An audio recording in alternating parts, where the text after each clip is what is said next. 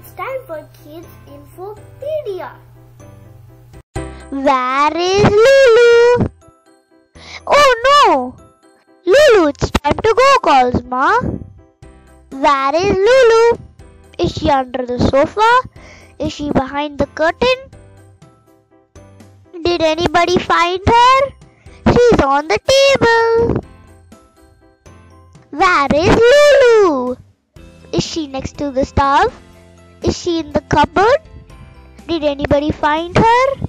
She's on top of the rack. Lulu, it's time to go. Where are you? calls Ma. Did anybody find her? She's under the bed. There you are. I don't wanna go. We have to, says Ma. But I really like this one.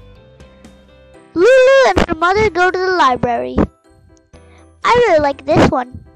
And this one. And this one. And this one. See, you turn books and borrow more. Yay!